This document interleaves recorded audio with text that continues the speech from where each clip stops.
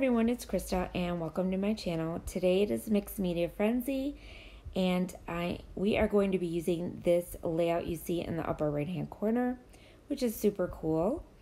And I am going to first use clear gesso on my white cardstock to get it prepped for any stamping or mixed media, watercolors, whatever have you that I may use on my paper.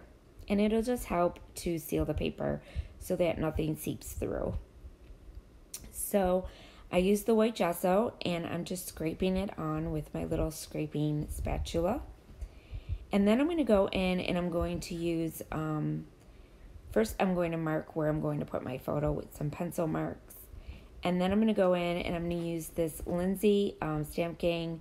I got this um, from a Hip Kit Club collection. Uh, was a color kick a while back and it's Cacabelle Coral and it's kind of like a red color. It's super bright red. And I am just going to go in with my um, paintbrush and I'm just going to kind of dab it a little bit because I don't want to do a lot of this color on here. I just want a little bit of it sticking out from around my photo, kind of peeking out from behind the photo. So I'm going to do a little bit on the bottom, a little bit on the sides, the top, and then I'm going to do a little bit in the cluster that I'm going to put on the right hand side of my photo as well like you see in the layout there. And then I'm going to go in and do some splatters as well with this red color. Not too much. I didn't want to make this look like a bloody scene or something. So I didn't use too much. Um, you have to be really careful when you use red, um, I think, because you don't want to be too much red because um, then it just looks sort of crazy to me with too much red. So I just went in and did a few splatters and that's all really the um, color I'm going to use on the paper. And then you're going to see me come in now with some textured paste. This is by Ranger. It's a crackle paste. And I got it on scrapbook.com. And I'm going to go in with my Heidi Swapp stencil. I love this stencil and I'm going to use the only the star part of the stencil and I'm just going to scrape it on top of the red and what this paste does is it will crackle after it dries which is super cool fact, effect to it and also some of the color will seep through it too so it's going to look really cool once it dries but you won't really be able to tell in my video unfortunately um, but it's, it looks cool I promise you so now I'm going to do some over here for my little cluster that I'm going to put in this right hand side. And once that dries, I am going to go in now with this little strip that I had. It's I have some karate stickers that I have left over from previous layouts that I've done. And I decided to use the strip that I had. And I'm just to glue that down. And it's got the black, the red, and the white in it which is perfect. And I thought that it fit with the photo just great because that's their colors they have on. And the picture is a picture, sorry, I forgot to tell you. The picture I'm using is a picture of my son who is a third degree black belt and teaches karate school. He is an instructor, and my two girls um, who are taking karate now, and they are now camel belts. And it was at their testing, and they just got their camel belt. So I took a photo of them, all three of them, together because their brother was so proud of them. And now I'm going to go in with these Bo Bunny stamps. Now, all these stamps I'm using are Bo Bunny. And these look like little stitches, like that you would use in a sewing machine. And that's what this stamp is. And I have a couple different ones on here. And I end up using that one that you just saw. And then I end up using this thicker one, which kind of has a, a little bit thicker stitch to it and I'm going to stitch that on the other side of that um, stripe that you saw me um, glue down. And I just keep going in and I'm just working with it and trying to figure out where I want to put the stamping um, for my layout. I didn't want to do it exactly like their layout because mine is a little bit different. It's about karate. So I used a few different things like um, compared to theirs. And I'm also going to use this other cool Bo Bunny stamp. It kind of looks like, I don't know how to explain it. it kind of looks like um, it's supposed to be like flames coming out, but mine's going to be black ink. And um, I used it to kind of anchor my photo. And I stamped that down. And now I'm going to use this other little piece that I cut off of that piece there. And I'm just going to stick it here on my little cluster that I'm going to do in this area. And I'm also going to come in with a little bit of the stamping in that cluster as well with the stitching stamp. And now I'm going to come in with this stamp as well from Bo Bunny.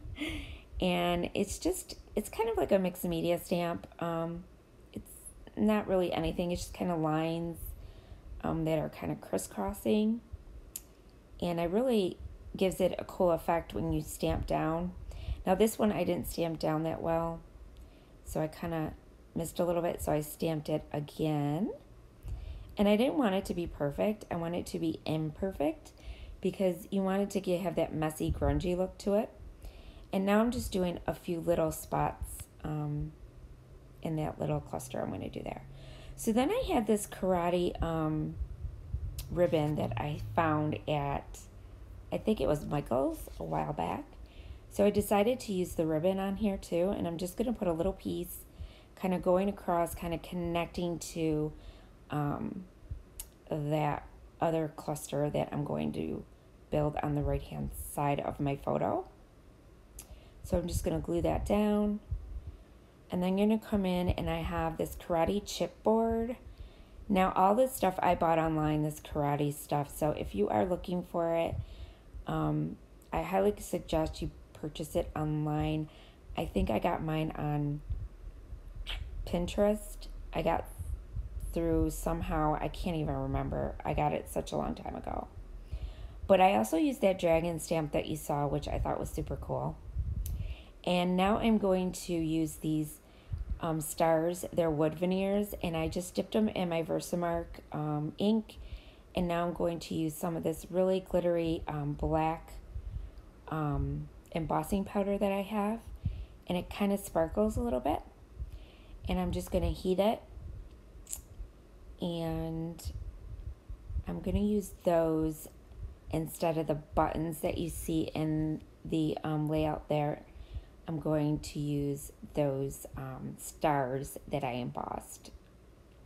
And then I had this um, washi tape, and they do have some washi tape in there, so I decided to stick this washi tape. They're kind of like crosses, and I thought it went really cool on the side there of my photo, and I'm just going to put a little underneath here to kind of complete my cluster there and now I'm going to come in with my embossed um, veneers that I did and this red chipboard um, piece that I had as well, um, star. And now I'm just going to um, put some craft foam on the back of my photo to kind of prop it up a little bit. I want it to pop out a little bit, kind of stand out and then you'll see me come in and I'm going to glue down those wood veneers that I embossed and I'm going to put the star in the corner here and then those three stars going across. First I'm going to do the red one and then the two black ones that I embossed next to those. And I figured these this would be better with my layout because um, the buttons kind of really wouldn't have made sense for my layout. So I decided to go this route. And I really love the way it turned out. I mean, it really turned out super cool. And this is a cool way to do a karate layout.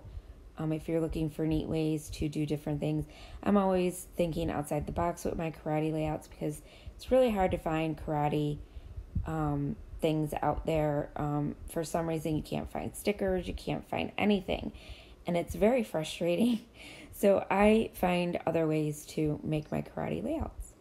So now what I did is I um, just used some water and put it with my um, acrylic black paint and watered it down. And I just came in and did some black splatters just to give it final touches. And that's it.